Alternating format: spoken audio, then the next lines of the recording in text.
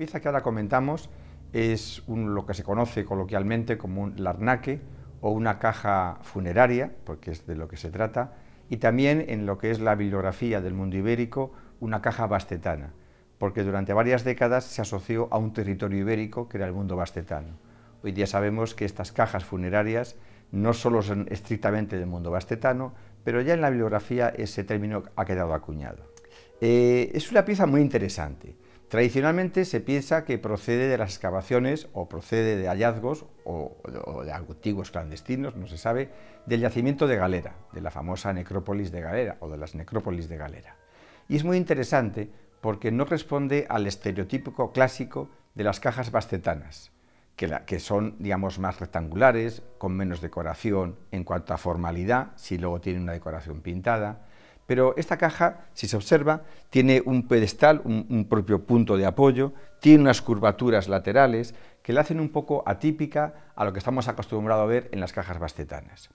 El uso funerario es seguro, está hueca por dentro y ahí se depositarían los huesos cremados del cadáver, lo resultante de haberlo quemado a una baja temperatura. Pero es curioso porque la decoración, ese acabado decorado tallado y con líneas incisas, tallado en la parte superior con ovas, con líneas con compás que se superponen y por tanto pueden hacer una decoración simétrica, geometrizada de elementos vegetales, flores de loto, por ejemplo, indica que es una visión frontal y por tanto una, una colocación de la pieza en algún tipo de nicho o junto a una pared, porque por detrás la ausencia de elementos decorativos, incluso formales geométricos, es total. Tenemos pues una pieza descontextualizada, pero con un uso funerario seguro para guardar esos huesos no incinerados, sino cremados a más baja temperatura. Hoy día cremamos e incineramos a 1200 grados. En el mundo antiguo con madera de pino, con madera de encina, eran temperaturas de 700, 650 grados. Con una colocación frontal y por tanto el elemento decorativo, y digo decorativo entre comillas, porque no es una cuestión estética, sino simbólica. Tenemos que ver que estos soportes, las cerámicas, eh, las cajas de piedra son soportes donde las élites dirigentes transmiten su ideología del poder y su concepción de la sociedad. Lo que pasa hoy día es que tenemos que intentar ver esos elementos que decimos coloquialmente decorativos en esa lectura antigua, y ahí está la dificultad del investigador.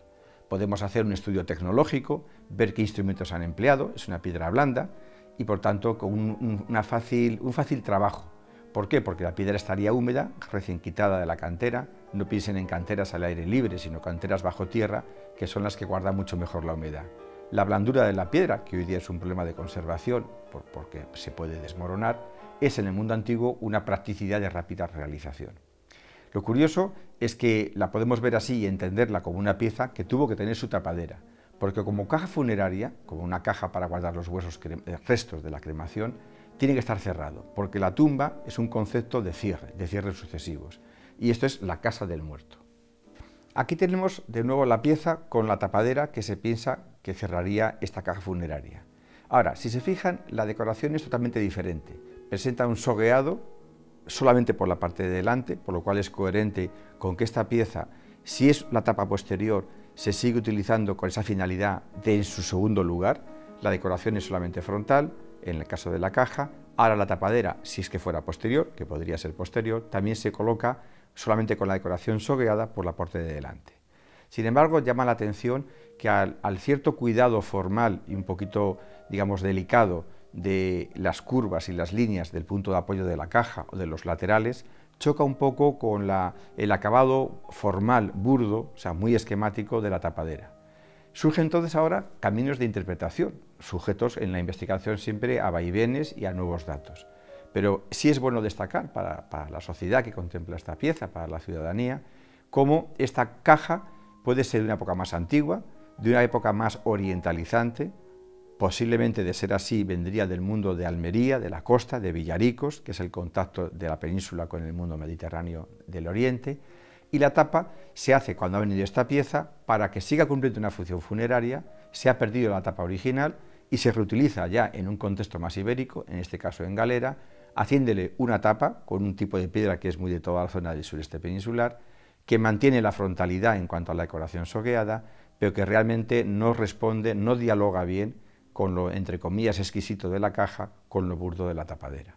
También ese sogueado, que es muy antiguo, la tumba de Pozomo ya lo tenía, también está realizado con mucho descuido.